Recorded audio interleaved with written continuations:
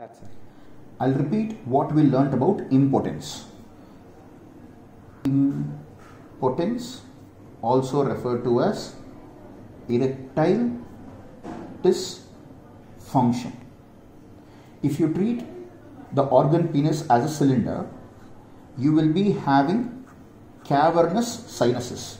This is side view. If you go for a cross section and look at it, this will be the spaces where these are venous channels. Blood, if they are present in this channel completely, then the girth of the whole penile area will increase. Now blood has to flow inside. Blood flow, if blood content is high, if blood is more inside the area, erection happens. If blood is seeping backwards, there is no blood, then there is erectile dysfunction. So relaxation of penis can happen when the blood is not there.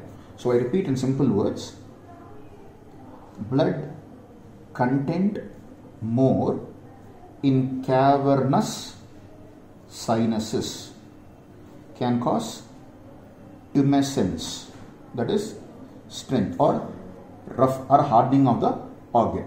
Here, how do you have increased blood in it? When the veins are narrow or when the veins are broader? When the veins are constricted, amount of blood will be lesser. When the veins are dilated, amount of blood present inside can be higher. So what did I tell you who can increase the blood vessel diameter? I told you nitric oxide as a neurotransmitter or as a chemical modulator. This nitric oxide can relax smooth muscles.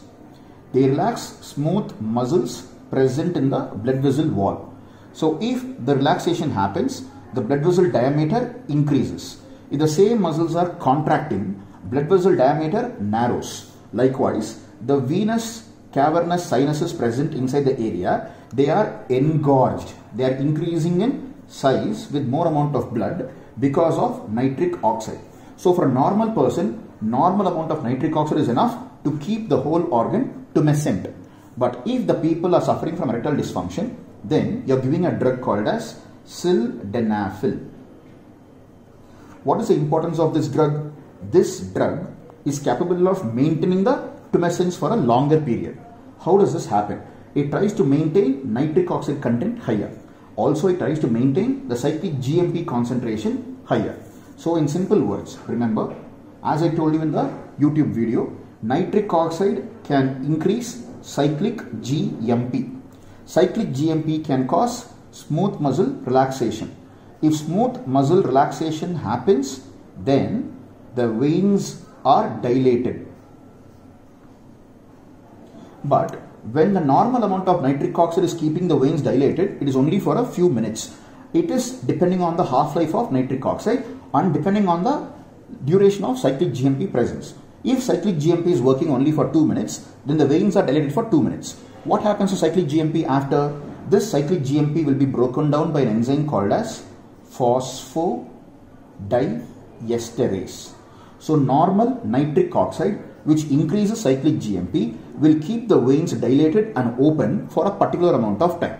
But now what do you want to do? You want the cyclic GMP to be higher for a longer time. If it is to be higher for a longer time, then the enzyme who breaks it should not be present. So this drug, sildenafil, will inhibit the enzyme so the cyclic GMP breakdown is blocked. So that cyclic GMP will be there for a longer period. If it is there for a longer period, veins are dilated for a longer period. So more the time for the tumescence of the organ, sexual organ. Thank you.